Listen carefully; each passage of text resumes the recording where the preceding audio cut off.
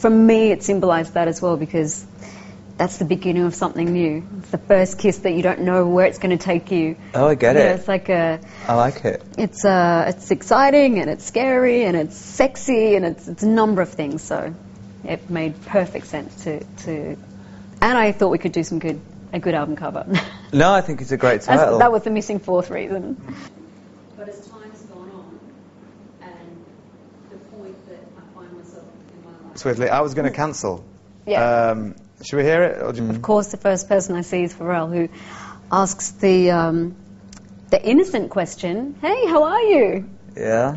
And you say. Well, I just burst into tears and was a kind of blubbering wreck.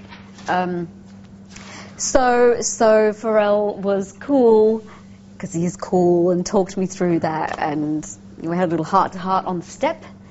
yeah. And um, he wrote I Was Gonna Cancel, which is the most positive, uplifting song on my album. It's my 12th studio album, but I have to say, when it reaches this stage, when it's it's a reality, I have the same emotions. I'm, I'm truly excited, I'm kind of overwhelmed, I'm nervous, I'm relieved that it's done and it's out there. Do you want me to do it for you? Pucker up. Uh, put lots on. Make sure you've got lots, because what we're going to do is we're going to recreate the cover. Can we get the cover on here so they know what they're trying to do? That's not it.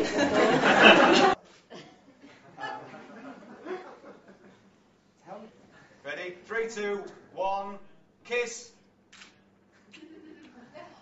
Who do you think? Um, it's not not for me to decide. You have to decide. I know. a lot can happen in a year, and, and a lot did happen in 2013 making this album. Um, some of it was glorious, and you know, absolute highs, and a, quite a bit of it was was, you know, I wouldn't really like to go back there. So yes, it's therapeutic.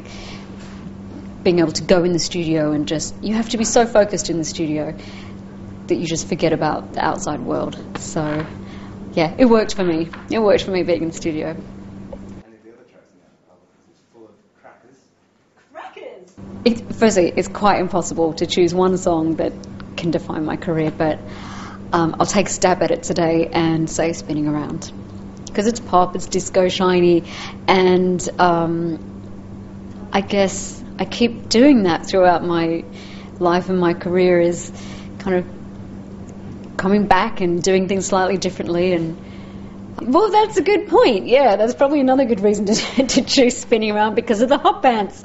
Who knew? I didn't know. I mean, it's it is it's truly amazing that um, something like that can can just it's the gift that keeps on giving.